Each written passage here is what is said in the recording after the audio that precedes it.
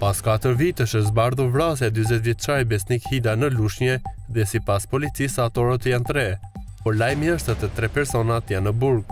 Gjykata e Shkallës së Parë e Juridiksionit të Përgjithshëm Fier ka caktuar masat e sigurisë arrest me burg për tre autorët e kësaj ngjarje. Njëri prej tyre është tridhjetë e një vjeçari Laert Haxhiu, që ndodhet i arrestuar në Greqi. Tjetri është tridhjetë e tre vjeçari Orgest Birbili, i cili aktualisht ndodhet në burgun e Drenovës në Korçë dhe është dënuar me burgim të përjetshëm në lidhje me një ngjarje të gjykuar më parë.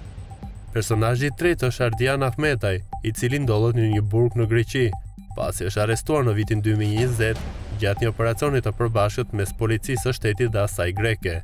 Ahmetaj është dënuar në vitin dy mijë e njëzet e një me njëmbëdhjetë vite burgim.